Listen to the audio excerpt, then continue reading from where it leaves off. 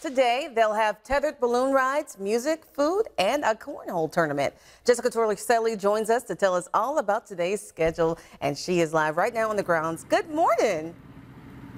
Good morning, Jasmine. So excited to be here. I have Holly Boudreau with me with the museum. Thank you for being here. Yeah, I'm excited to be here. So we have a balloon behind us. Clearly, you can see it's getting bigger and bigger as we keep talking. But this is going to be full of balloons, this field, later today. That's right. We have um, at least 10 or so balloons that are coming this weekend, and two will be given tethered rides. We have the Glow coming. We have trick-or-treating at the Glow, so it's going to be a great weekend.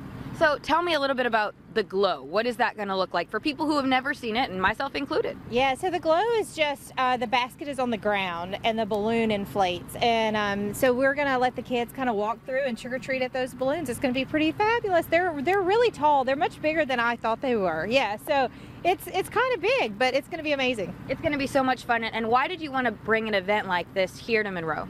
You know, I think people like to say that there's nothing to do here, and we're proving that wrong with a couple of big events, but also just because, you know, it, we have to continue to inspire the next generation in aviation and military, and that's what we do here at the museum every day. So this is just another way to do that. And today, what are the hours, and then tomorrow and Sunday? Okay, so 4 to 9 today, 11 to 9 tomorrow, 11 to 4 on Sunday. A full weekend right. of fun for sure. Now, I'm going to leave you and we'll be back with you, but we want to talk to the man himself who is in charge of this balloon, Bill Smith. Thank you for being here. Good morning. I'm excited to be here. This is my first time in uh, Louisiana to fly a balloon, so I'm really excited about getting that under my belt. Well, welcome. We're so happy to have you, and I'm so happy to have this balloon specifically. Tell me about it. Well, today we have the Eddie Rickenbacker tribute balloon. Eddie Rickenbacker was an ace in World War I. And of course, to be an ace, you have to have five confirmed kills or five victories, aerial victories. Eddie had 26, so he was a five-time ace, the most decorated uh, ace in World War I. This balloon tributes Eddie and his flying. It's, it's got Snoopy as the pilot, and it's got uh, Woodstock riding on the tail. But uh, really, the balloon is, is about Eddie's uh, service in World War I. He, uh, he shot down 26 uh, enemy aircraft. Five of those were balloons. So if you notice the balloon, it's, it's got a, a World War II bow wing flying right through the center of the balloon. And the front is the propeller and the rear is the tail. Sticking out of either side is the wing.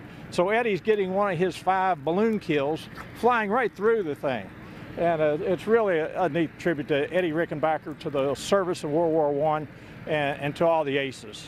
Absolutely, a wonderful story to go behind this. And of course, you've been setting up all morning. So what happens next with this balloon? Well, we're ready to put the hot air, put the heat to it. Uh, we have burners down in the basket, and uh, they put out about 20 million BTUs of heat, which heats up about 30 homes, uh, 30 home furnaces. So it puts out a lot of heat, and that hot air goes into the balloon, makes the inside air lighter than the outside air, and the balloon will rise up. So we're in the process of cold inflating it now getting uh, Woodstock and Snoopy and everybody unfurled, and then in a few minutes we'll be putting the heat to it and stand it up.